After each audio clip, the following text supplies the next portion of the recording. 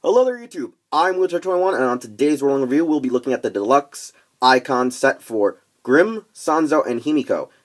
These were the last three Eyecons that people technically needed released for the core 15 of the Great Heroes, and it's honestly a good set due to the fact that, one, it's mostly towards Necrom, because in the show he uses Grimm and Sanzo effectively and efficiently and, well, consecutively. One, because he tried to possess those actual heroes and overpower them, and two, they eventually then allowed him to use use them when he became good. And Himiko, well, I really have not much to say about Himiko because there's not much really to say about it in general, in my personal opinion. It's just a cool pink form. It's fabulous, and that's really all I gotta say. So let's look at our actual Eyecon. So we'll go in order of you know numeric value, which is Himiko. Nice pink, really really girly pink. Nice though. Still can't really hate it. Pink's a nice color. You got number ten. You got the face sticker, which is actually pretty cool. And then you got the whole kind of like peace prayer for its Omega Drive. You got Dead Eye. Got 10 again, and you got your face sticker. Pretty nice. You got freaking 14. Grimm. Grimm's Fairy Tales. Now, I don't see how effectively it's a hero outside of the actual Grimm's Brothers movie with, I think, Matt Damon and Jude Law, I believe. And that's as far as I could go with that. Number 14. The face mask. Pretty demonic, kind of weird. Kind of has like a bird-esque face to it, if you ask me, how the actual side plates look. Pretty cool. But I honestly understand it's supposed to be like a pen because of its Omega Drive. One can see a pen scribbling. And the sticker is really nice. I honestly do love this very translucent, uh, sparkly green plastic. It's just nice. It's cool. I enjoy it a lot. This is honestly probably one of my other favorite Eyecons just by its overall design. And then there is Sanzo, which is another one that I like actually by its design of the hoodie, not necessarily the design of the overall Eyecon, except for maybe I think one of its stickers, which is its Omega Drive, I believe. So we got 15. You have its face, kind of similar to Grimm, ironically enough, but it's the whole, whole idea of it fitting in with Necrom's suit there's like weird, cool, badass like sun. I like this sun. It's really awesome. Honestly, if I was to make my own custom like Eyecon, I would probably repurpose this as my own Omega Drive kind of logo because it just looks badass, pretty awesome. And the dead eye is nice and actually a metallic green. I forgot that this and this have a metallic one, not like a weird dark blackish blue. It's actually green if you see reflecting off the light.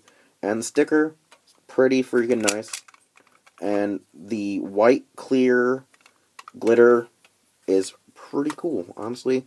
Really nice design. Now their sounds one cool thing is that no matter what ghost driver can make sounds for them. Uh, however these ones particularly have special pegs in the bottom of their Eyecons right here and here to help effectively work with the Mega Ulorder. So let's go and demo these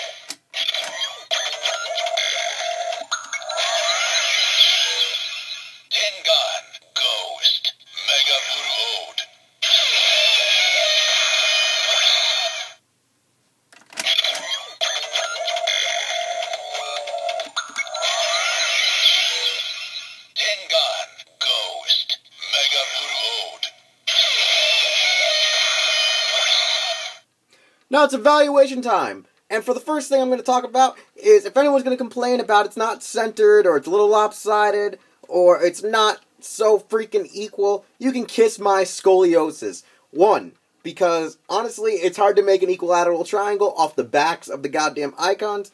Two, it's a goddamn pain in the ass in general. And three, like I said, you can kiss my scoliosis because with the curvature in my spine, technically, I don't think I know what the freak even leveled means just because I'm off to a curve. That is one thing I can admit right now. Now, for the actual toys at hand, the Sanzo and Grimm are probably the most wonderful Eyecons in this set due to the fact that the sounds they make with the Mega Ulorder are freaking fantastic. Himiko still is just Himiko and not extraordinary whatso freaking ever. And it actually makes it worth having the Mega Ulorder just for those two extra Eyecons.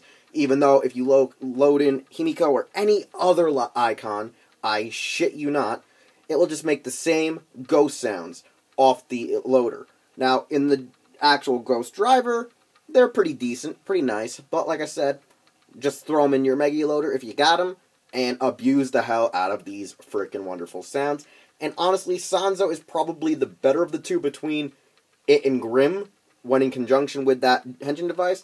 But nevertheless, you can actually still get these freaking Eyecons still at most stores, I think. They're only selling for about 1600 to 2000 yen, which is about 16 to 20 bucks. I've seen quite a few still in stock at some places. Other people are telling me it's kind of hard to get right now, but honestly, it's a give and take, I think, depending on the day and depending on what store you're shopping at. So, nevertheless, I am Wheelchair21, and if you like these Eyecons, I insist you like my channel and subscribe to it, as well as check me out over at HeroClub.com, HeroTaku.com, follow me on Twitter, Facebook, and Instagram. I'll see you all next time.